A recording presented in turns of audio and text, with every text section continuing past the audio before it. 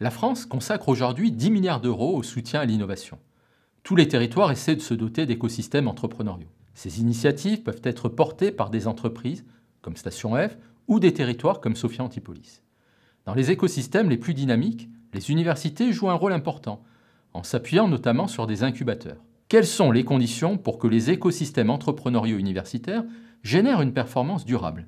Pour comprendre les dynamiques entrepreneuriales et d'innovation dans un territoire, la notion d'écosystème entrepreneurial retient une attention majeure. L'enjeu est d'ouvrir la boîte noire de l'écosystème pour mieux accompagner les territoires et les membres de l'écosystème entrepreneurial. Pour mieux comprendre les écosystèmes entrepreneuriaux, deux perspectives peuvent être privilégiées. La première, de nature stratégique, est centrée sur les stratégies mises en œuvre par les acteurs à l'intérieur d'un écosystème. La seconde perspective est structurelle. Elle est centrée sur la forme et le mode de fonctionnement des écosystèmes. Nous avons privilégié cette seconde perspective en nous appuyant sur la théorie des réseaux sociaux. Nous avons proposé d'adapter la grille de lecture développée par Napiet et Gauchal. Le capital social joue en effet un rôle majeur dans les écosystèmes entrepreneuriaux universitaires. Nous avons construit une grille d'analyse qui comprend trois dimensions.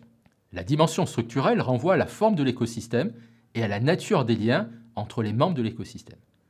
La dimension cognitive fait référence aux représentations partagées, à ce qui est tenu pour acquis, autrement dit aux objectifs, au langage ou encore au discours narratif partagé par les membres de l'écosystème.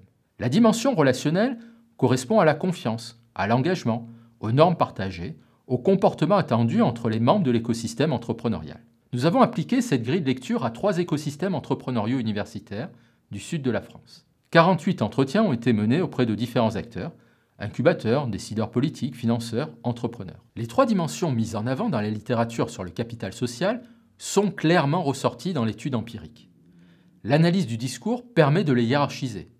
La dimension structurelle est apparue essentielle. Autrement dit, la façon dont l'écosystème est structuré, la nature des relations entre les membres de l'écosystème, le degré d'ouverture sont fortement mis en avant pour expliquer la performance et la durabilité de l'écosystème entrepreneurial universitaire. La deuxième dimension qui joue un rôle déterminant est la dimension relationnelle.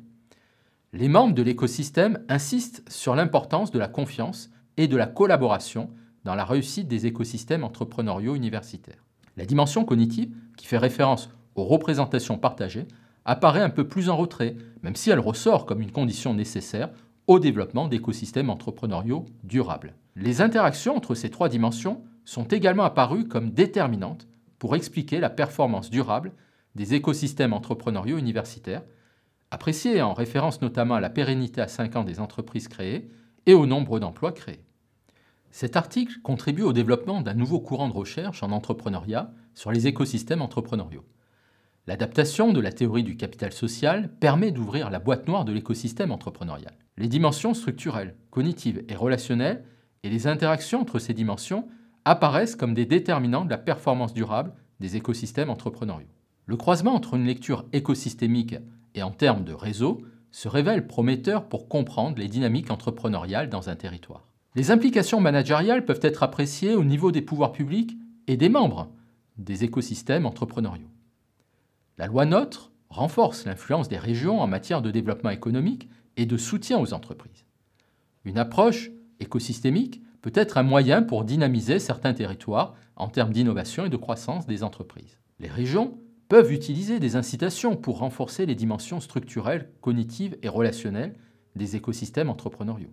Les incubateurs académiques ont également intérêt à créer et développer des liens avec les autres membres de l'écosystème pour compenser leur manque de ressources. La participation à des actions communes, à des groupes de travail peut être un moyen pour les incubateurs de développer de nouvelles compétences, notamment en lien avec la révolution digitale.